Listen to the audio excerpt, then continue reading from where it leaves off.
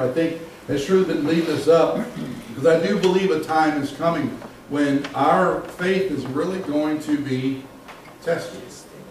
Um, where, because I, we do know that Jesus himself said in, in Matthew chapter 24 that when, when the end days are coming, when the end times are coming, that if it were possible, even the very elect would be deceived. It's possible for even possibly the very elect. So, so again, we, we need to make sure we never where we think we know it all, all stuff. We need to constantly be taking in the Word of God, receiving knowledge, as much knowledge as we can, and just really have ourselves prepared and, and just be ready. Um, because I'm telling you, um, there may be some things coming our way that we thought we would never, again, I know things are coming our way that we thought we would never see in our lifetime. And, uh, and just understand, don't let these things shake you, don't let them worry you, don't let them move. If they move you to anything, let them move you to prayer. If they move you, let them move you to a closer walk with your Lord Jesus Christ. Um, that, that's how you, do but don't let them move you to a place where you become distraught or, or fret or worried about yourself because truly remember who God is and who you are in Jesus. And I, and I, do think that's why he's really had us deal with a lot of things this year so far that we have dealt with, that because of Jesus, the certainties that we can stand on because of Jesus. And we dealt with who is Jesus to remind us that Jesus truly is, he is the Messiah. And that, that we're going through now, how do I know? How, how can I have, and, and, and tell, again, I know it all, everything we talk about boils down to faith, but how can we have an, an intelligent faith or why we believe what we believe? And, and I dealt with that over the last two weeks when we dealt with, does God exist? How do I know God exists? And today we're going to deal with a thought going down this that line a little bit about some things that a lot of people in the world say some things about. I don't want to get ahead of myself, but let's go ahead and, and do this. Like I said, we're continuing our series about how do I know. Because again, as I told you each and every week, in your walk of faith, in your Christian walk, there are going to be people who approach you and say, why do you believe that? Or what do you believe? Or whatever. And the Bible tells us that we should be ready to give an answer for that. Um, Peter, Peter said in 1 Peter chapter 3, verse 15, he says, Instead, you must worship Christ as Lord of your life. And if someone asks you about your Christian hope, always be ready to explain it. Not just to say, oh yeah, I believe in Jesus and I know I'm going to heaven. But, but you notice what he says there. Be ready to explain it. Now that, that doesn't mean you have to go out and go to college and go to seminary and get a theological degree so, so you can sit there and, and lay out a certain amount of points. You know, I'm just, I'm trying to give you a knowledgeable faith to where, again, the information's out there. And I want to give you some, some information that when people say, why do you believe this? So we do know, we do know that when you know, things, certain things happen. We know, as being children of God, that the Holy Spirit will move upon us and bring things to our remembrance. But He can only bring things to your remembrance that get put in this brain of ours. So, hence the reason why we were talking about this. And again, I did, actually, I looked at, I, we did speak on this subject probably about eight years ago. And, uh, but I just felt the need to, to really deal with these thoughts again and, and even, even, even just maybe in some different other ways. Um, but we should be ready to be able to explain about our Christian hope, why we have hope as followers of Jesus Christ. And again, this verse is the reason for this series. Um, as I said, you know, when we when we hit these questions, here are some of the questions we're gonna we're gonna, we're gonna look at. We looked at this one already. How do I know God exists? Today we're going to be dealing with this, this one. Is the Bible reliable? Is it too narrow to say that Jesus is the only way to God? And we're going to deal with other questions like that. These questions that sometimes people, you're like, please don't ask me, because I, I, really don't know. And, but I want, again, you're not, these aren't going to be in all you can know about the subject, because um, even the ones who wrote books on these don't know all you can know about the subject. The only one who knows all you can know about the subject is God.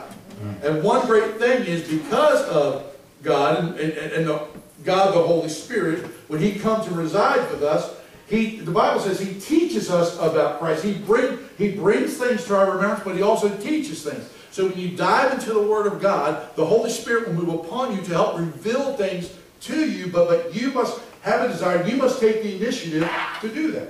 The, the same as you, you're, you're here today. So, so, so you're here to receive a word, so, so, so, so God is honored by that, so receive it and let it truly take root in your heart and in your mind. Like I said, in each week I told you I will share with you um, where I got my information from. Today, today I was mainly dealing with Josh McDowell's website. Um, I will tell you, uh, if, if, you're not a person who likes to read, you like to just listen, if you actually go on there, you click on his web, you type in his name, Josh McDowell, take you there. You can look over, it'll say resources, and I think under resources it says videos, or, or it may just say videos. I, but, but they're listed, they're broken down in categories. In fact is, when we're dealing with what we're going to deal with today, how do we know the Word of God is reliable? I think he has like 20 videos on there. And they range, they're anywhere from like uh, three minutes to maybe five or 10 minutes long. Uh, and, uh, and again, just, a real brief thing about Josh You'll, he'll say about this a little bit in the video I'm going to show you here in a minute.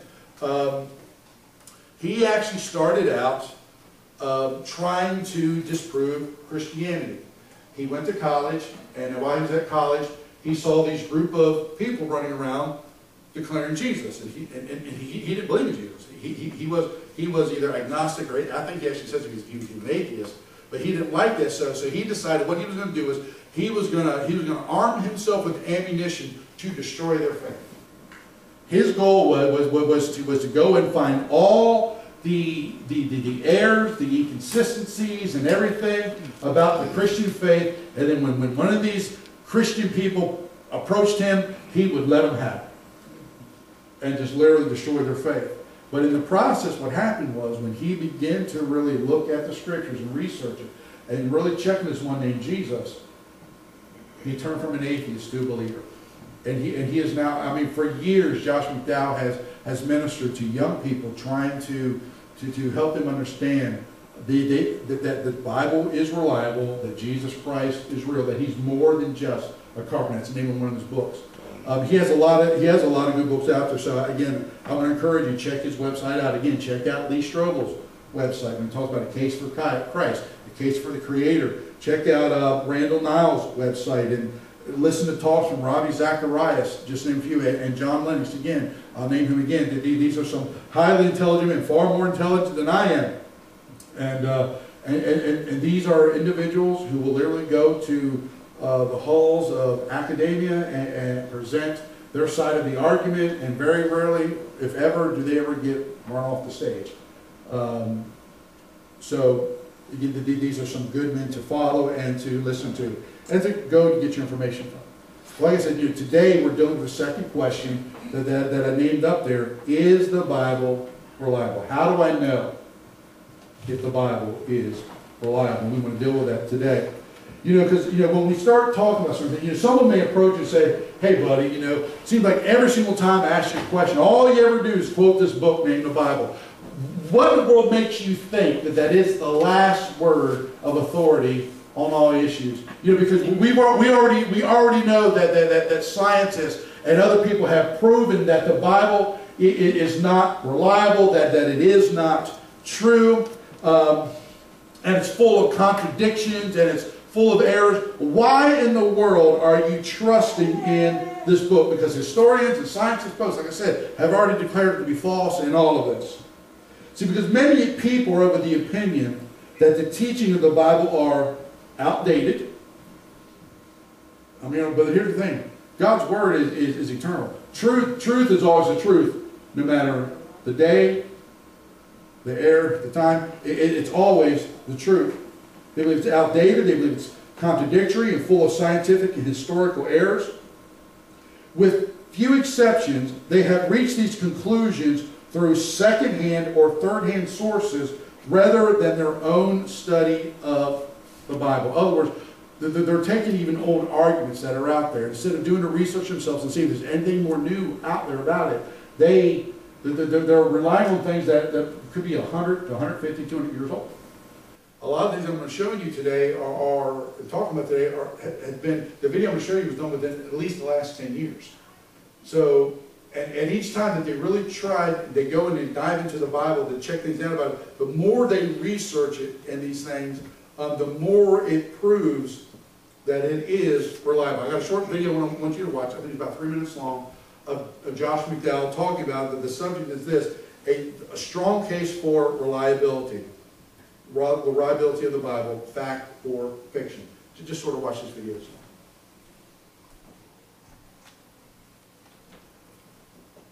It's amazing when you look at so many of the scholars and their opinions about the accuracy of the transmission of the scriptures and their datings and all. Uh, a number of them were very contrary uh, to the conclusions that it's reliable, it's trustworthy, or early dating. But so many of them, when they would examine it, would change their opinion. For example, uh, Robinson, who was a lecturer at Trinity College in Cambridge, he accepted the consensus that the New Testament was written way later into the second century. And he, he thought that was a scholarly conclusion. But as little more than actually, in his own words, as a theological joke, just to make a joke of it, he decided to investigate the arguments of the dating of all the books of the New Testament. And to his amazement and to his honesty, and I want to read this, he said, the results stunned me. Owing to scholar sloppy, scholarly sloppiness, the tyranny of unexamined assumption, and almost willful blindness by previous authors. He went on to say, much of the past reasoning was untenable. And he concluded that the New Testament, now here's one of the greatest liberals saying it was written way in the second century. He concluded the New Testament is a work of the apostles themselves or of contemporaries who worked with them. And he concluded that every single book of the New Testament was written before 70 AD. Folks, it is trustworthy. Millar Burrows of Yale University said another result of comparing New Testament Greek with the language of the papyri is an increase of confidence in the accurate transmission of the text of the New Testament itself. The text has been transmitted with remarkable fidelity. He went on to say, so there need be no doubt whatever regarding the teachings conveyed by them. And Dr. Howard Vos uh, made this statement. The case for the reliability of the New Testament is infinitely stronger than that for any other record of antiquity. Dr. Vos's conclusion is the same conclusion I came to after trying to refute it all. That if I could not trust the New Testament, then I'd have to throw out all literature of antiquity and become a total historic agnostic.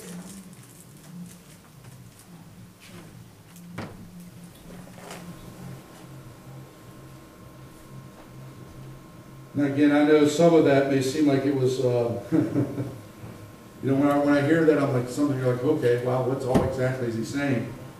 Uh, but I will tell you this, one statement he did, he didn't make it in this video, but a statement that I have of his, Josh McDowell said this, he says, the Bible is unique, which means it is different from all others, having no like or equal. It has no like or equal. I believe many times that we truly fail to understand and know this fact. There is no other book that is the Word of God except the Bible. Many others claim to be so, but when they're truly put to the test, they fail. They fail miserably. Do you understand that you know, the Bible was written over a span of about 1,500 years, 1,500 years by, by about 40 different authors, but yet it combines together for one theme, for the same theme carries throughout it all. You know what that theme is throughout it all? Jesus. Is the Messiah. The Bible was given to us. Yes, it conveys a lot of different things, but, but, but behind everything that is being conveyed, it is conveying the fact that there is a Messiah. Oh, Others pointing to who? Pointing to Jesus. See, the Old Testament points to him, and the New Testament reveals who Jesus is. It reveals who the Messiah is.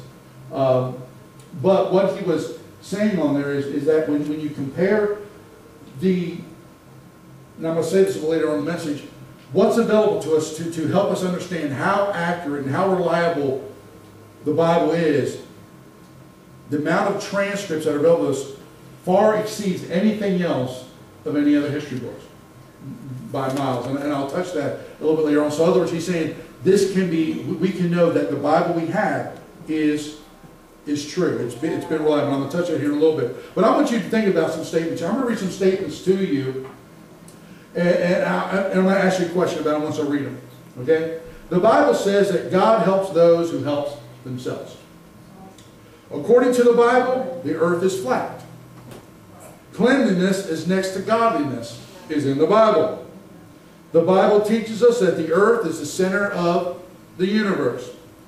The earliest New Testament manuscripts go back only to the 4th or 5th centuries AD.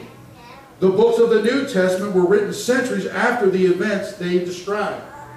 The early, the- I'm sorry, the English Bible is a translation of a translation of a translation and so on and so on of the original, and fresh errors were introduced in each stage of this process. Now again, how many of these statements you think I read are true?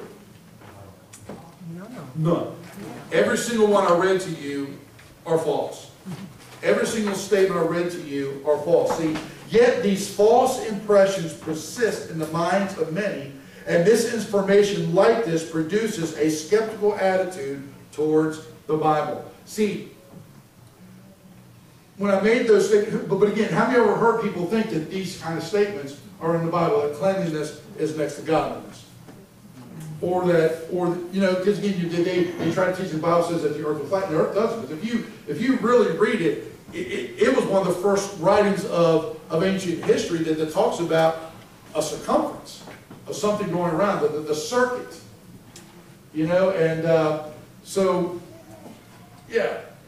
So, so we're, we're, we are discussing these objections to the and reliability of the Bible to help you make a more informed decision as to if the Bible is reliable or not. Okay, so understand. So all this here, I want you, I want you to understand is, you know, um, we, we, we don't, we don't believe in just some old book, but, but, but we, we can trust it. Because again, one of the biggest things you hear is that, you know, someone, you know, how can you be sure that the Bible that you have now is the same as when it was written?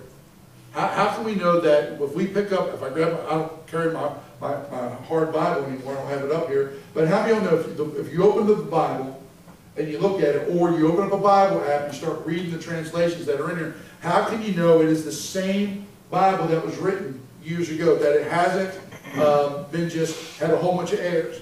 So what I want to do, I'm, I'm going to try to see how we can sort of do this this morning. I, I was going to do a little bit of experiment. Have you ever heard the, um, what's it, it's called, the, the telephone game?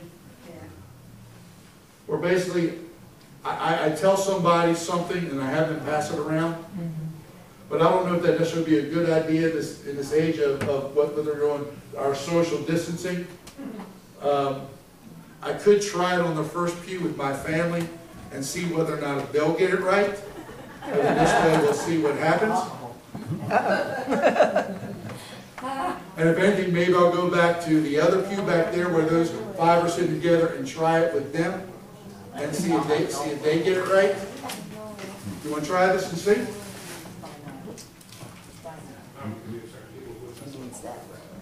What, you? No, you won't. Well, try your best to get this right, okay? All right, so same if you would, I'm gonna, I'm gonna come here, I'm gonna, I'm gonna I'm gonna whisper in your ear, okay? So guys, you're, on, on, you'll, later on, I'll tell you what it says, okay? So, all right, all right. Listen carefully.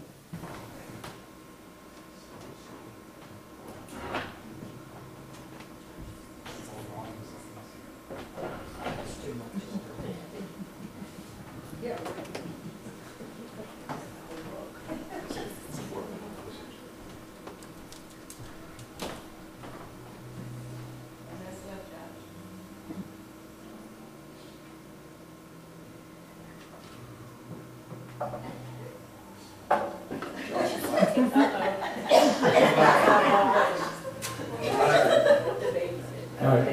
Go ahead, do what you think, go ahead. All right, tell it to Jordan. Now Jordan said, oh, well, well, she got passing the man, the man's gonna tell him. You could. Yeah, I understand. Okay. Just good health, good spirits. Take care of the little guy. Yeah. Your dad and mom are both. Yeah, my mom's still dead, right? Yeah. Probably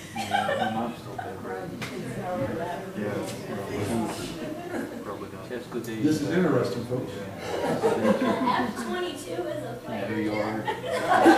Well, I will say, now that, now that, that is, that is what, yeah, the F twenty. It is, it is a fighter aircraft, that is part of, me, I did say the F-22, but here's, here, here's, here's what I shared with Sammy, I said the F-22 Raptor is a single engine, is a single seat, twin engine aircraft, super maneuverable aircraft that uses stealth technology. Okay? That, that, that's what, that's what I said. But again, you know, they, they, they, they, they got the part, the F-22 was an air fighter, fighter aircraft, right? Which is aircraft. Fighter jet, okay. All right. So, we're gonna try this one more time, okay? All right? Which, which, Will, do you want to be the one to pass it, or you want to be the one to receive? All right. All right.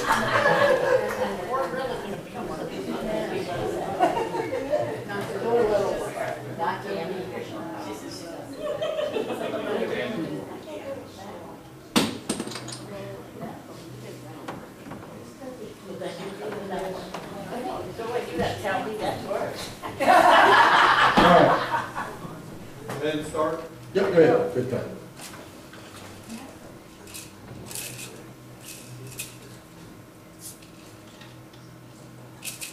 Right.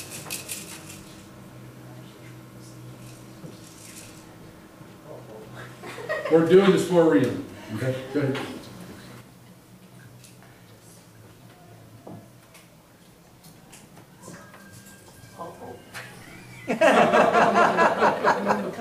Good. Let. Is that the man? John Hancock had the We do John Hancock. longest, Well, you said All right, okay, all right. Well, I will say, but, but, Yeah. is this, no, I'm gonna read you what the statement is, tell me this is what you heard, okay? John Hancock is remembered for his large and stylish signature on the United States Declaration of. Blame it on Bill. this we did taught right. I, I will say, to Will's defense and to Sammy's defense, I gave him a sentence that was rather long, and he only had a couple seconds to absorb it. Now, again, if, if I, if I constantly repeated that sentence in their ear, more likely they would, they would remember it, and so on and so forth. But, the, the, the re, the reason for that is, you know, when I, when I gave the sentence just short span, you can see how quickly that sentence got distorted. How, I mean, some, you know, John, out of that sentence, John Hancock and signature came out, okay? Yeah. But not the whole thing of it. And that the F-22 Raptor is a fighter jet, uh, that came out, but it wasn't everything about it. And of course, that's what people say about, well, you know, if all of this stuff was oral tradition, if it's passed on orally, you know, we know, we know if it was passed on orally, we know that all of the mistakes that would have to be in this, because we know from one story to the next, who had, who's ever had someone tell them a story? And you, you were intrigued with it, so you said, let me go share the story with somebody else? But by the time, again, that's what this says, by the time the story gets back to the original, the, the, the original giver, all of a sudden now they're, they're Superman who, who, who, uh, who, who ran faster than, than, than, than, than, a speeding train and stronger than a locomotive, you know? But, but it started out as, hey, I, I, you know, I shot, I shot a bullet that was going fast and I rode on a train, you know?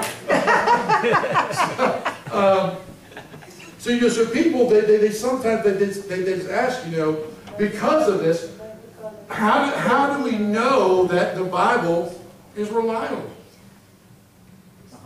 See, but, see, but their error, a lot of their error is too, that, that, that they think of, that, that they try to think of, of like, again, the telephone game, and, and if anything, even if it was done orally, it wasn't done that way, but we know that the Bible was written down.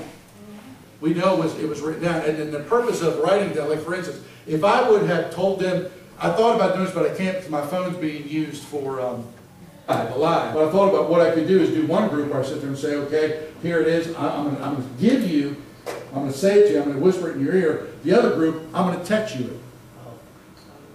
I'm gonna text you it, now take that text and pass it on. Well, first off, unless you're, unless you're, um, yeah, uh, challenged, you'll be able to copy that text and paste it on other people. And because you're copying the original text, everything you pass on after that will be, unless you decide to add something to it, everything, every, every time you pass it on, it will be what?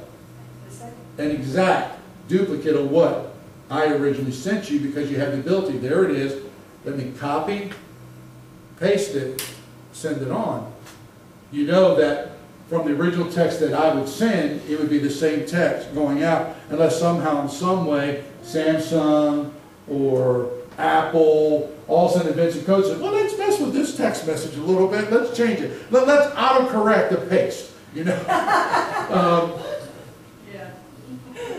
but, uh, but, but, but, you know, but sometimes people ask this question because, you know, you know, like I said, by just doing this little test, you can see how just verbally going down quickly, it got messed up. Is that something like, uh, when, with the Mary Magdalene thing, where when some part where they said she was a prostitute, then later on in the seventh century, they changed it? No, to the best of my knowledge, um, it, I, whether or not she's a prostitute, that I really don't know. I have to do some research. I, we do, we do know that um, she was. Um, it, it's believed, I think Mary Magdalene, she was at least at least the woman who I think he cast seven demons, seven demons out of. I think. Um, but, but again, maybe how she got the money, because again, the, the perfume she had, what the perfume she had, the ointment, the alabaster box that they talked about, that, that she put over him for his burial, I mean, on his feet.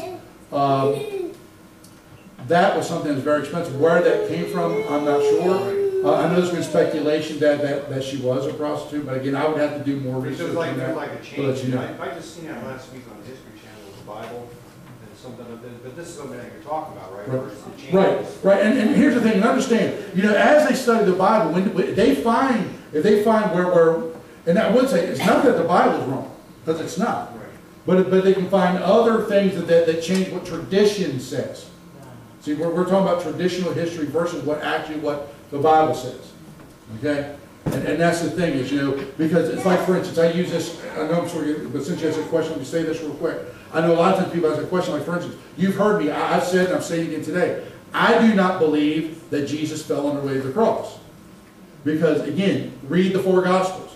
Read any account of the crucifixion. Nowhere, absolutely nowhere do you read that he fell under the weight of the cross. It may be logical to assume so since he was beaten so badly, he was carrying the cross, and Simeon was called to carry his cross after him.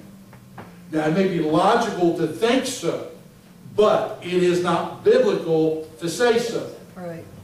Because nowhere do you read in the scripture that Jesus fell under the weight of the cross. And my personal opinion, I'm sure for my personal opinion is that he did not fall under the weight of the cross because if he would have fell under the weight of the cross, then that means that he would have needed mankind to help him pay the price for mankind. You understand what I'm saying? Yeah. Mm-hmm. I, my, my, my person, again, I can't prove this, the same as they can't prove that he fell under the weight of the cross. But my personal opinion is, one of two things happened. Either the soldier had compassion on Jesus, or he was mocking him more. You know, because again, we can't prove this anywhere, but very, I can put this, this theory out there very easily. The, the, the, the centurion that was taken to the cross could say, oh, wait a second, guys, he's a king. He shouldn't be carrying his own cross. And he grabbed somebody out of the crowd to carry his cross. Or it could have been that this guy could have truly had compassion on Christ and had someone carry the cross for him. Now again, I, if it's anything, I would think it's more so to mock him because, understand, Jesus had to do this on his own. Okay? But again, let- let- let's jump back into, uh, uh, like I said, we got a little bit off the subject there. But, but we need, but, but how do, we- how do we know? How do we know the Bible we have today is reliable? Because understand this, the original writings of the Bible have been lost. But before they were lost, they were copied. Okay? These copies were incredibly accurate, very meticulous, and very precise. The people who copied them took great care when copying the original manuscripts. This copying method is so exact and so precise that the New Testament is considered to be 99.5% textually pure. That means that out of the 6,000 Greek manuscripts of the New Testament, you understand, the New Testament was written in Greek, and of the additional 21,000 copies of other languages, there is only a half a percent of variation, which means it is very, very accurate. And, and, and again, um, like I said, did you hear the amount of copies available for comparison? There's a ton of them. And understand this, the closest book of literature of antiquity is Homer's Iliad, and it only has 600 copies. But the New Testament has over 6,000 Greek manuscripts and 21,000 others. I mean, just, just let that sink in a second. So it's light years above the others. The science of studying ancient literature and its accuracy, of transmission is called historicity. It's other words, history, historicity, okay? The Bible is so, is so exceedingly accurate in its transmission from the originals to the present copies that if you compare it to any other ancient writing, the Bible is light years ahead in terms of number of manuscripts and accuracy. If the Bible were to be discredited as being unreliable, then it would be necessary to discard the writings of Homer, Plato, and Aristotle as also unreliable, since there are far less of them preserved than the Bible. And also, understand this, I don't know if you, you listened when Josh McDowell was talking about that. When he was talking about the New Testament, he says, when you do a study of it, it, it, it when they truly do a true study of it, the writings of the New Testament are, are the oldest one is dated back to no later than 70 AD. In other words, the destruction of Jerusalem. So in other words, within 35 to 40 years of Christ being here on this planet and leaving.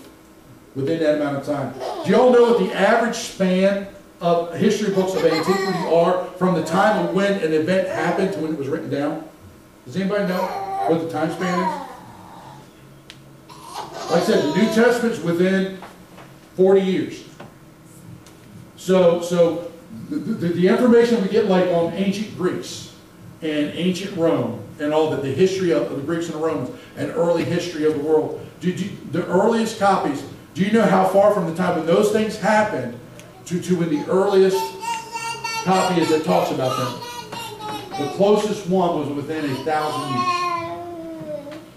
So it was passed, so, so the, it was it was written down a thousand years after the events. The New Testament was done within 40 years. And they always say, again, you talk to the- these scholars, the closer it, the, the account is written down to that time period, the more trustworthy that account is. So again, so understand how, how, how much we, especially the New Testament, how, how much we, we, we can trust these things. So you understand that the Bible is written by those who are inspired by God. It, so it is accurate and true and represents historical occurrences. When we look at the New Testament, we realize that it was written by those who either knew Jesus personally, meaning they were eyewitnesses, or were under the direction of those who were eyewitnesses. Remember, that's something that Josh talked about in the video, didn't he? That that's how close these who the writers were. They wrote what they saw. They wrote about the resurrection of Christ, and they recorded his miracles and saying, 1 John chapter 1, verses 1 through 4 says this, We proclaim to you the one who existed from the beginning, whom we have heard and seen.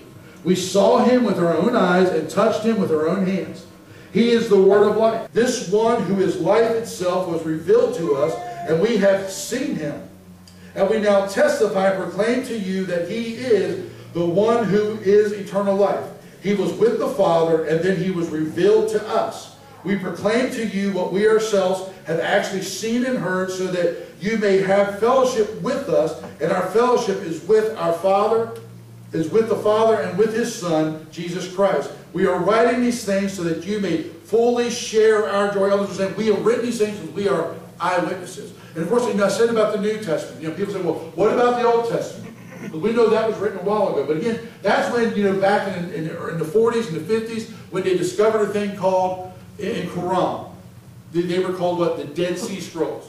The Dead Sea Scrolls, they were dated. They have been dated, actually dated to be at least 300 BC. So, so, so, so they date back to 300 BC. 300 years, at least before Christ came. And when you compare the writings that they found in the Dead Sea Scroll to what we have in the modern day Bible, again, it fits within this 99.5% accuracy.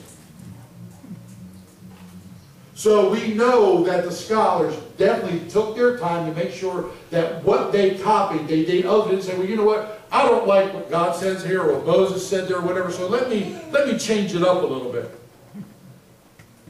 They truly transcribed what was here to here. Again, with the text message, when I send it to you, you can sit there and say, you know what, let me copy, let me paste it, but wait a second, I really don't like what Pastor says here, so let me interject something.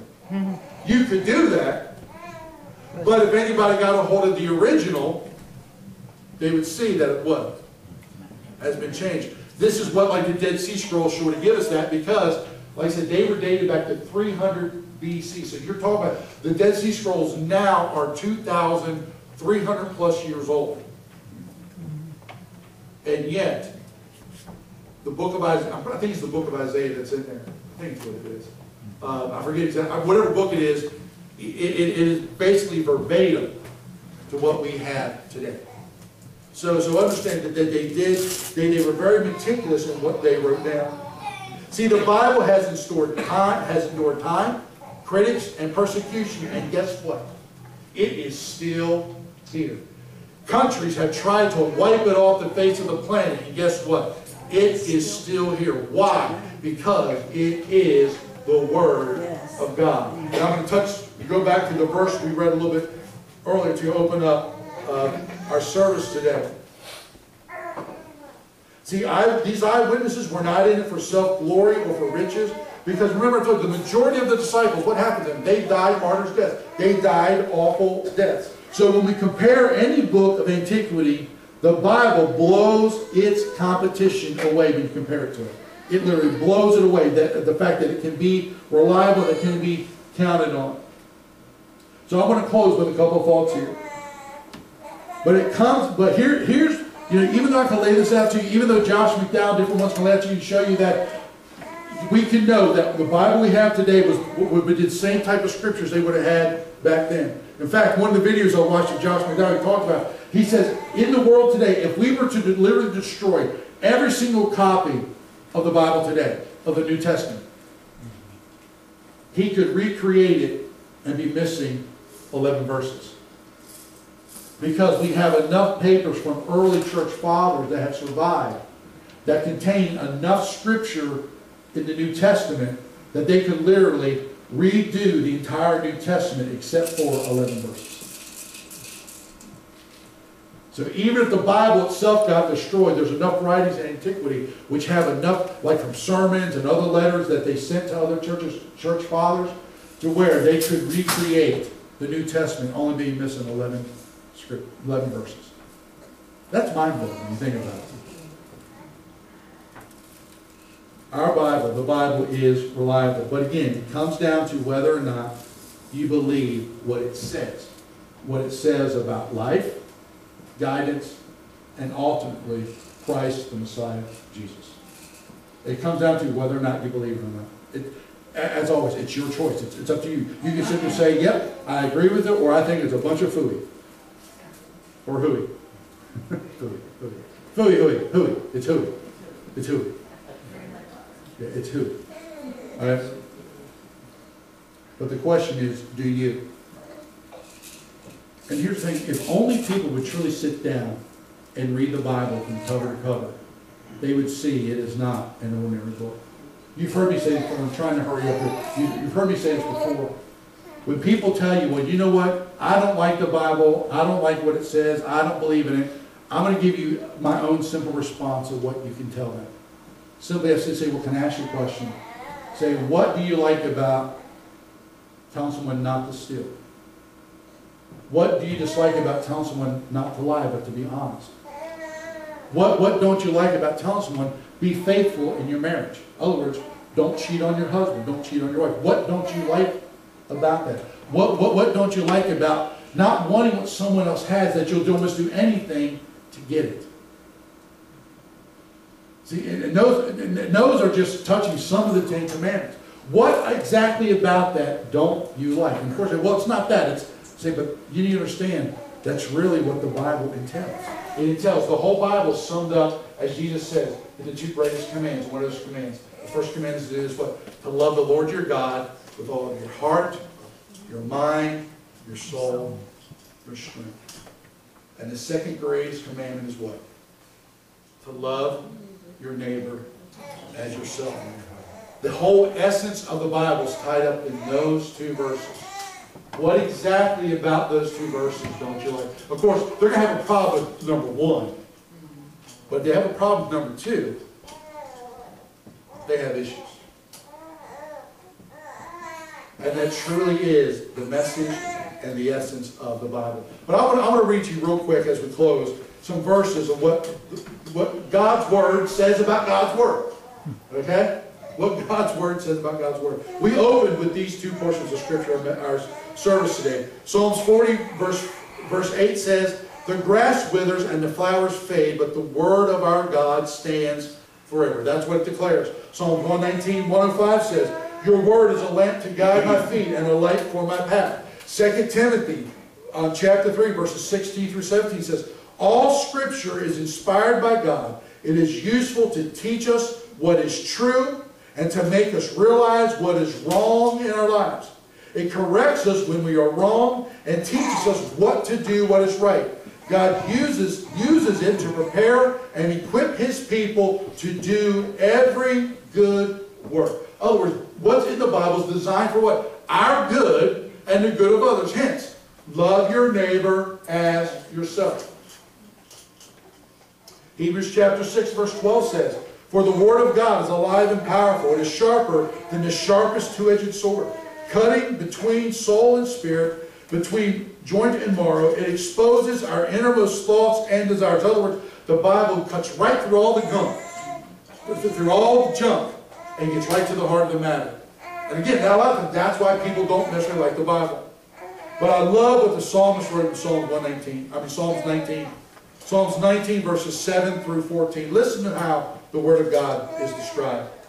It says, The instructions of the Lord are perfect, reviving the soul. The decrees of the Lord are trustworthy, making wise the simple. The commandments of the Lord are right, bringing joy to the heart. The commands of the Lord are clear, giving insight for living. Reverence for the Lord is pure, lasting forever. The laws of the Lord are true. Each one is fair. See, a lot of people like to argue with that, but you know what? They are fair. Each one is fair. They are more desirable than gold, even the finest gold. They are sweeter than honey, even honey dripping from the comb. They are a warning to your servants, a great reward for those who obey them. How can I know all the sins lurking in my heart? Cleanse me from these hidden faults. Keep your servant from deliberate sins. Don't let them control me. Then I will be free of guilt and innocent of great sin. And then verse 14 says, May the words of my mouth and the meditation of my heart be pleasing to you, O Lord, my rock and my redeemer. But it describes the Word of God here as something that is very precious and dear, and how by, by having receiving it in, how your life is literally changed by this Word, and that is true. Because you just think about it. If, if, if, our world, if our world would just truly even if they didn't want to follow the greatest command. But you really can't follow the great, you can't do the second greatest commandment without doing the first. But, but even if they could, if, if, our world would just do what the second greatest commandment is, how different would our world be? If people would love their neighbor as themselves. If they truly put the needs of someone else above their own. We have a problem with human trafficking and, and abortion and everything else due to the fact that people are selfish and greedy. Because it's all about me, me, me. Wars are fought over me. How much different would this world be if truly people loved other people like they love themselves? You know, as the golden rule says, do unto others as you would have them do unto yourself. Now that is rooted and grounded. That is rooted and grounded in Scripture. But not cleanliness is next to godliness. The Bible is reliable. We can know that the book we have today has been, has been copied from when it was originally done till now, and it is, we have that same copy. It is accurate, it is reliable. But it all comes down to whether or not, if you believe and receive what it says. But again, just the teachings in it should speak to its divine authorship of just how it's truly about treating others right, putting self aside. Amen. I'm going to ask our musicians to come. But we want to close out um, just worshiping the Lord a little bit today.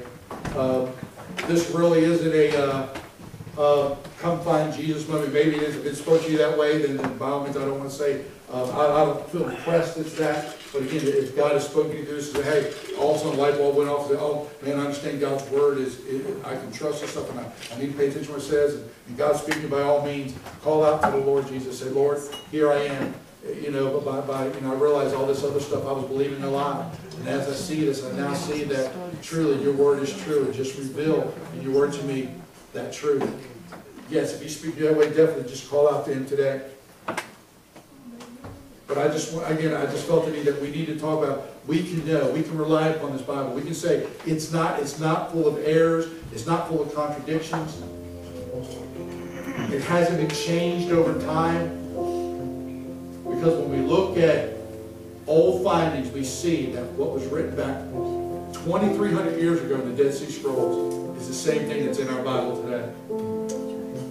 That, that, that lets us know pretty much trust what's in there. That they, that they didn't say, well, I didn't like what was said here, so I'm going to change something. They kept it. That they were very uh, serious about copying it exactly. But what I do want you to know is that God loves you. And, and, his, and His Word, the Bible, is His love letter to you. It's His, it's his owner's manual, as, as Will put it, it's the owner manual to, owner's manual to how life should be lived and for your life to, to help you know Him more and to experience life to its fullest. That's what the Bible is. It isn't there to tell you, uh, it isn't there to tell you you're or whatever, but it's there to reveal the love of God through Jesus Christ. And that's what I want you to receive this morning. And because of that, we can sing a song and say, Lord, I love you, Lord. Lord, I look to you, I trust in you. And I just want to, I just want to say, I just want to declare my love for you once again. So if you would stand with us this morning. And we just want to sing some songs of praise to him as we have time together. But again, I hope, hope you received some information on today. Again, this is stuff you just sort of be in the back of your brain. Again, I want you prepared if someone asks you a question, you can give them a reason, a reason for your hope, a reason why you believe this. And I know the Holy Spirit will move upon you to lead and guide and direct you in that. But let's just spend some time just praising His name before we leave this place today. This and say,